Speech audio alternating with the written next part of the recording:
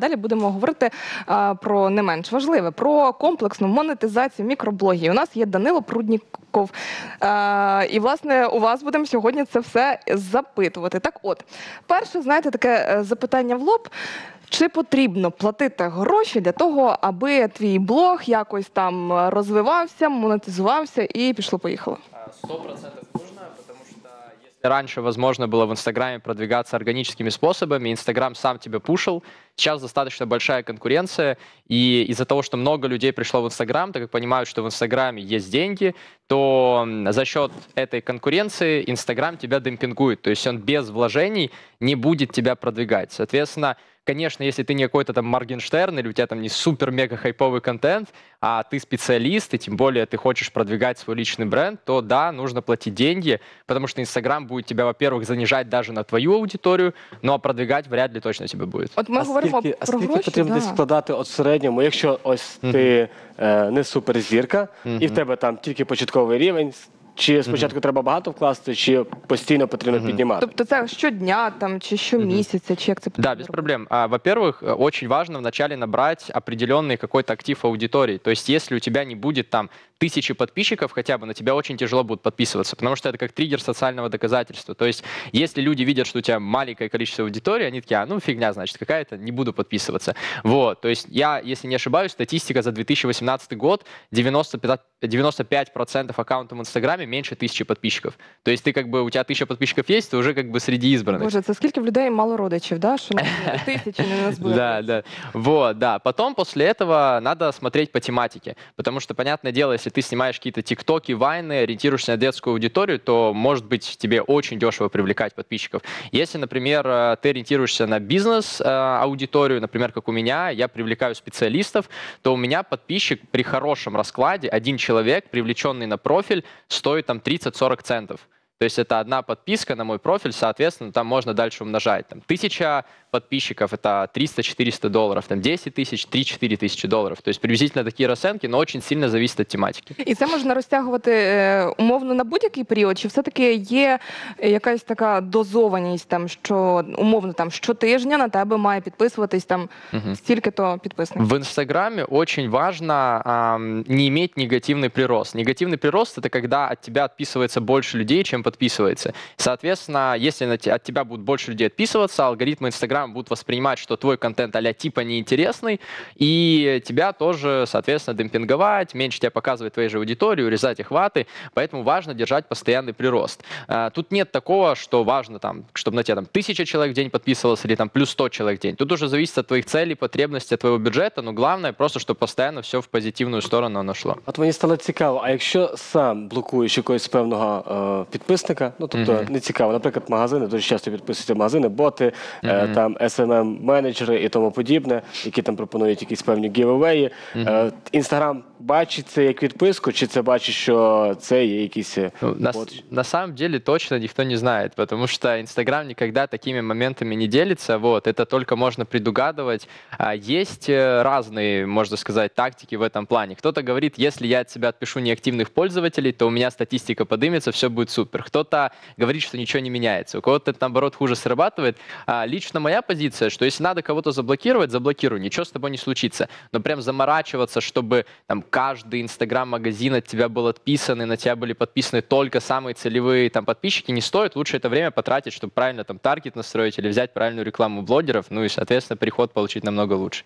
От я хочу поговорити от таки про базову таку штуку. Так ти сказав про те, що контент може бути неякісним. Мгм. Що взагалі таке якісний контент? Тому що зараз ось цих направлень, так цих блогерів просто купа. Як Да. обрати для себе щось? Як от мені розвити, наприклад, там свій блог? Мгм.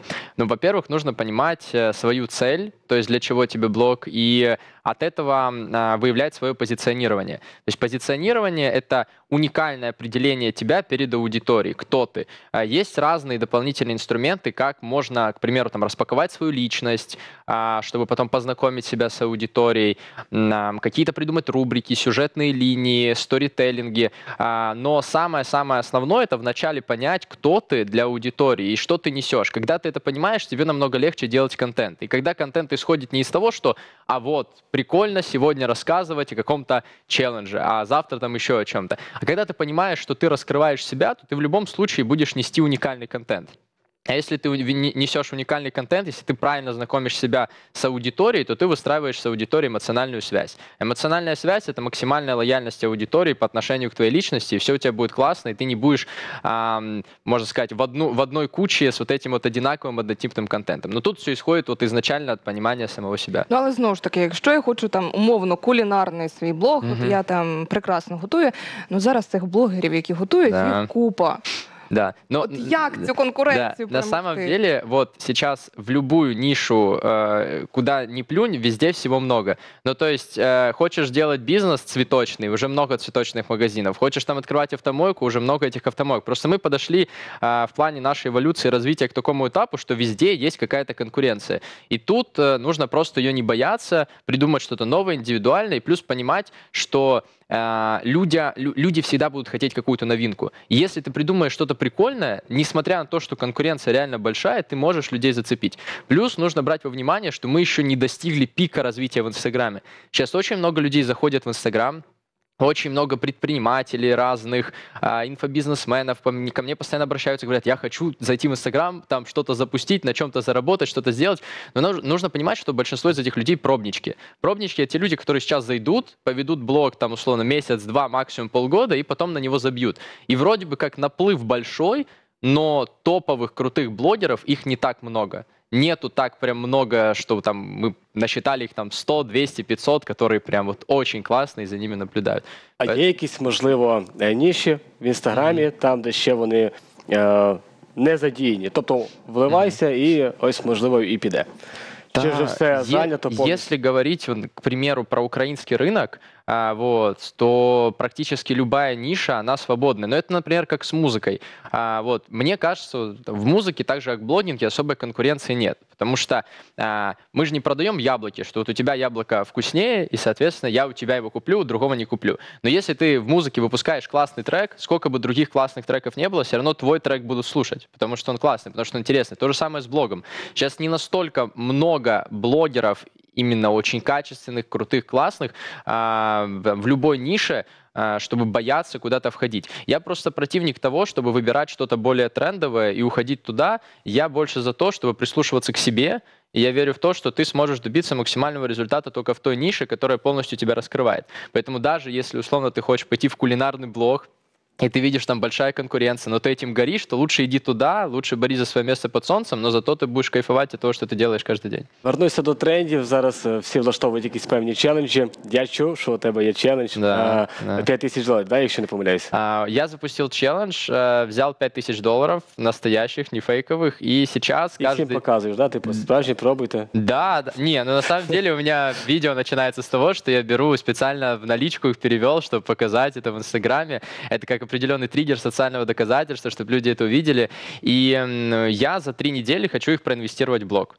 То есть вот у меня есть 5000 долларов, и я за три недели их вкладываю в блог и показываю аудитории, что из этого будет. То есть на этом я показываю свою экспертность, как я их правильно вкладываю, и также показываю рост своего аккаунта. Тобто ти хочеш їх монетизувати, тобто, щоб вони зробили більше приріст, чи ти хочеш їх впустити так, щоб е, зросли кількість підписників? А, Получается, сначала, чтобы увеличилось количество аудитории, ну а потом, конечно, эту аудиторию монетизирую, заработаю еще больше. Вот. То есть, как бы оно, в принципе, так все время и происходит. Ну Но- давай так. От ти вкладаєш ці гроші, Не. куди конкретно вони йдуть? На якусь там Мгм. рекламу, чи Мгм. можливо якісь розіграші? Я не знаю. Я в соціальних мережах Zero. Тогда подписывайся, буду рад видеть. А, На самом деле есть два самых основных способа продвижения. Это таргетированная реклама, это прямая реклама от Инстаграма и реклама у блогеров. То есть мы никуда без них не уйдем. Эти продвижения способы были как 5 лет назад, так и будут и сейчас, так будут и через 5 лет. Но есть еще альтернативные способы продвижения.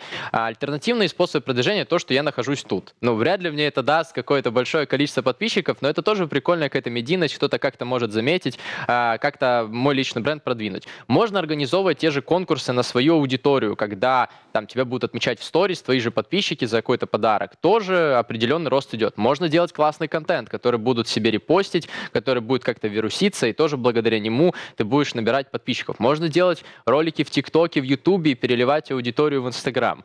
Можно делать взаимные пиары с другими блогерами. Вот. И есть таких много разных точечных способов, которые бесплатные, которые не приведут тебе прям очень много аудитории, но все равно они будут продвигать твой аккаунт. Но самое основное это вот таргетированная реклама, реклама блогерів. От я навіть згадую, от раніше, там, мовно, там ще роки два назад, потрібно, аби там було там е, взяти участь там в якомусь розіграші, підписатися на, ц- на всіх друзів. Це було там Giveaway називається. 150 чоловік. Мгм. Так зараз у нас блогери е, в Україні дарують автівки. Якщо ми Мгм. говоримо про якихось закордонних блогерів, вони в місяць по 5 автівок і ще й по, по квартирах можуть дарувати. Мгм. Чи дійсно ось цей такий глобальний вклад, тому що це ж не маленькі гроші, Мгм. він потім якось відгукується їм. А, б- именно блогерам Так. а они с этого очень много зарабатывают. И э, на самом деле, когда, ну вот, к примеру, э, недавно э, российский Forbes публиковал э, список блогеров, которые больше всего заработали денег за год. И э, очень смешно то, что в список не включили доходы как раз вот этих гивэвеев, и некоторые из блогеров э, ну, доносили, что они заработали как бы намного больше за счет этих гивэвеев, и на гивэвеях на самом деле можно очень много заработать, потому что, условно говоря, ну, дом это сколько? Это даже если это там 300 тысяч долларов, к примеру, но блогер э, может получить гонорар с одного гива там миллион долларов, полтора миллиона долларов, и для него там то, что он вложит эти 300 тысяч долларов в дом, это, ну, это, это вообще никакой роли не играет. И тем более те машины, которые продаются, да, это красивая машина, красивая картинка, это условный Range Rover, но это Range Rover 2008 года, который купили там за 25 тысяч долларов. И картинка красивая, но внутри там ничего супер особенного не будет.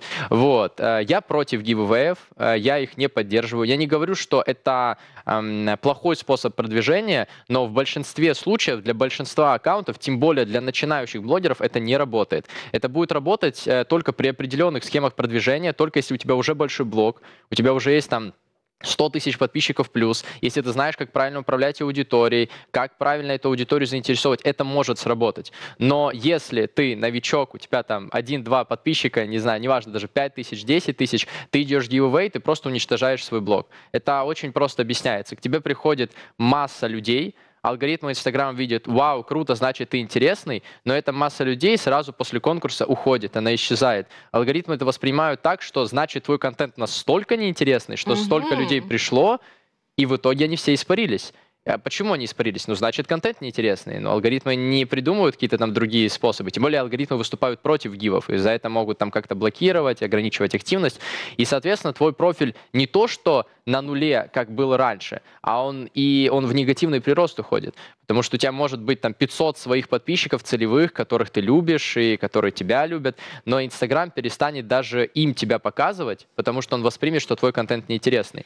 Ну, тобто, грубо кажучи, люди, які люблять халяву, вони підписалися, Да, щось там да, виграли да. або не виграли, вони відписалися Сто і процентів. навіть не подивилися, хто ти, що ти і який в тебе контент. Сто- в большинстве случаев так и происходит. Есть определенные способы, но это надо быть человеком с командой, очень прошаренным, уже большим блогером, чтобы даже если от тебя отписалось там 10 тысяч человек, там 20 тысяч пришло, там 30 отписалось, это тебя не затронуло, потому что и так очень большое количество э, в аккаунте людей. Это то же самое вот у меня, к примеру, у меня небольшой блог, у меня 13 тысяч подписчиков, но у меня целевая именно бизнес-аудитория, и у меня подписчик стоит дорого, но зато он и монетизируется очень хорошо. К примеру, если ко мне сегодня придет там 200 человек, а завтра от меня отпишется 300, на мне это не сильно сработает, потому что, ну, есть э, актив в аудитории. Но если, к примеру, допустим, вот сколько у тебя подписчиков? 1400. Ну вот, ты, ну, кстати, неплохо. Ну, я думал, может быть, нет. Ты, ты тоже в избранное число это входишь, больше У тысячи. мене родичів багато. Да. 5%. Да, вот. И получается, что если от тебя отпишется 300 там, человек, э, то это сильнее на тебе отразится, потому что ну, в процентном соотношении аудитории меньше.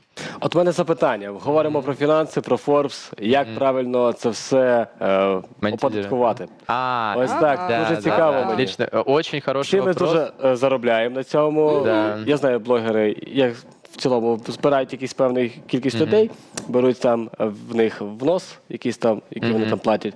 Блогер відповідно на цьому заробляє. е, приріст підписників також він отримує, але треба ж це все оподаткувати. А, Як це все правильно зробити? Я не знаю, у кого как. э, Вот. Я лично на второй группе упрощенной системы налогообложения. У меня есть бухгалтер, у меня есть э, определенные кведы, по которым я принимаю деньги. Вот. Они подходят под тот вид деятельности, которым я занимаюсь. Так что у меня все чисто, по белому. Я достаточно давно плачу налоги. Я знаю много блогеров, которые не платят налоги, но это на их совести, и как бы это до того момента, когда им э, станет, можно так сказать, ну, повезет, не повезет. Вот. Есть блогеры, которые платят. И на самом деле, вот, время проходит, и все больше и больше людей а, начинают платить налоги. Это очень круто. И вот, например, упрощенная система налогообложения, мне кажется, это вообще классное решение. Бухгалтера нанять тоже не проблема. У меня работает человек на аутсорсе, которому я плачу определенную ставку, и все, супер. Вот. Ну, от якщо ми беремо не бухгалтера, так? Ну, Мгм. тобто з фінансами ми вирішили, має бути бухгалтер, має бути все е, Мгм. законно. Мгм. Які ще люди можуть і мають тобі допомагати з блогом, особливо якщо ти. Ем, Ну, можливо, не такий креативний. Тобто ти можеш там е, якісний продукт зробити, але Мгм. як це все класно подати, продати, Мгм. ти не знаєш. Есть огромное количество людей, которые могут тебе помочь. Э, Это может быть контент-мейкер, вот, и ам, сторисмейкер как одна из э, Тоже. части да, контент-мейкерства. Вот. Это человек, который э, придумывает за тебя сторис, э, может их за тебя публиковать, э, может даже помогать к себе, себе со съемкой, за тобой ходить, снимать. Но в большинстве случаев это человек, который не находится с тобой рядом. Ты ему просто отсылаешь весь контент из- в исходниках в сыром виде, а он делает красивую из этого картинку. Но намного важнее не красиво подавать истории в Инстаграме, а наполнять их смыслом. Потому что сейчас и так много вот чего красивого в Инстаграме. Вот как ты говорила, и так много уже всего, и у тебя глаза теряются. И большинство блогеров, они, как раньше, выкладывают, а, ну просто вот выложу что-то там это, там покажу. Но это сейчас не работает. Работает, когда ты ведешь аудиторию по какой-то определенной сюжетной линии, когда ты вкладываешь определенный посыл, что-то доносишь, вот, то, что как бы нужно тебе, а не в формате того, что ты хочешь кого-то обмануть. Ты, допустим, хочешь донести какую-то свою мысль, сделать это красиво. А также это может быть таргетолог, который помогает набирать тебе аудиторию. Также это может быть рекламный менеджер, который договаривается с блогерами о том, чтобы там либо они у тебя купили рекламу, либо ты купил у них рекламу. Это может быть инфопродюсер, который сейчас мега популярный, это там новое течение, все идут в инфопродюсирование. Это человек, который помогает запустить себе свое обучение, свой, к примеру, онлайн-курс. И есть еще точечные другие профессии по типу проект менеджера которые есть и в других типах деятельности. Это в зависимости от того, насколько большой у тебя блог, они тебе либо нужны, либо не нужны. Стартовать можно самому, и э, все функции выполнять самому там, до какого-то определенного периода, пока ты не захочешь либо монетизировать э, свой блог, э, либо там, сделаешь большой прорыв, пока можно все делать самостоятельно. Маю питання, не можу не запитати. Мгм. Раніше, пам'ятаєте, коли там всі і селфі робили і так далі. Потім пішла мода на суперпрофесійні фотосесії і так Мгм. далі. Потім з'явилися вже інстасторіс, зараз рілси, то Мгм. були короткі тексти, то великі, потім знову короткі. Яка буде, можливо, твої прогнози, там мода, тренди саме по публікаціях? Там фото Мгм. чи відео з текстом чи без? Да, очень хороший вопрос, потому что буквально недавно, месяц-два назад, Инстаграм сообщил, что они полностью переходят на видеоконтент. Причем это сообщил э, глава Инстаграма, что бывает, в принципе, очень редко. Инстаграм редко делится какими-то инсайтами своей платформы.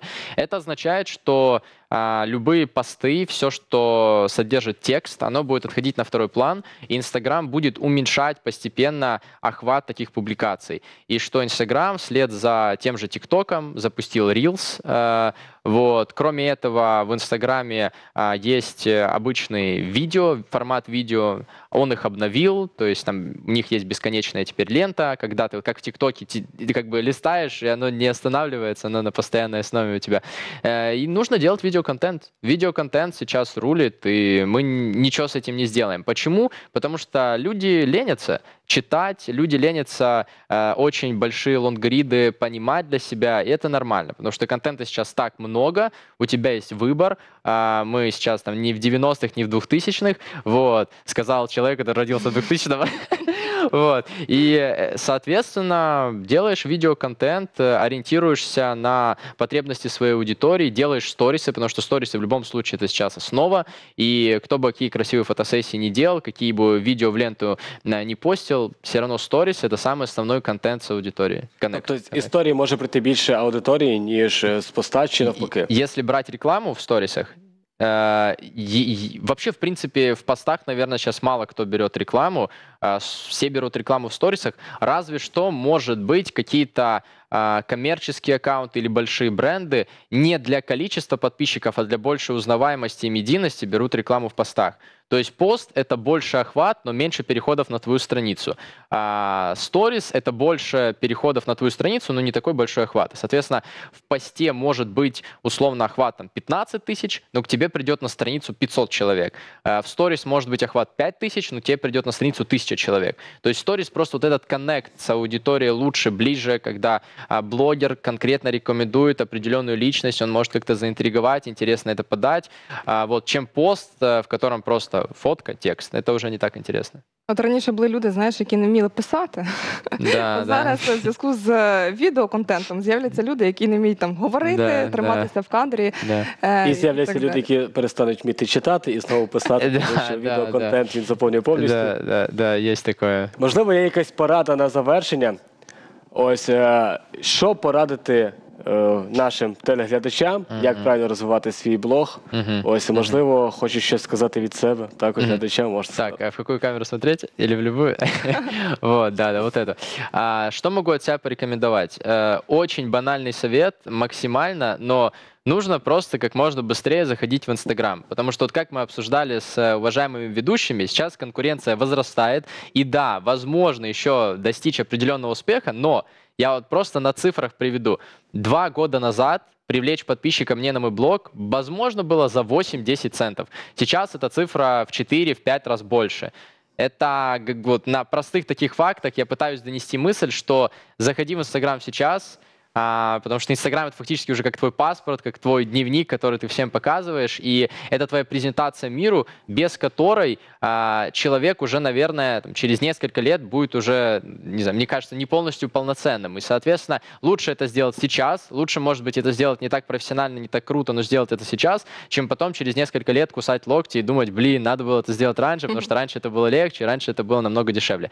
Поэтому развивайтесь. Если нужны будут советы, всегда можете написать мне, я с удовольствием отвечу. Кстати, всегда читаю директ и всегда отвечаю всем на сообщения. Вот. И м, ищите свое дело и самореализовывайтесь. В принципе, все. Это Ну, самое класно, главное. класно. Дуже корисні поради. Ми Мгм. тобі дякуємо. Нашим глядачам нагадаю, з нами Супер. був Данило Прудніков.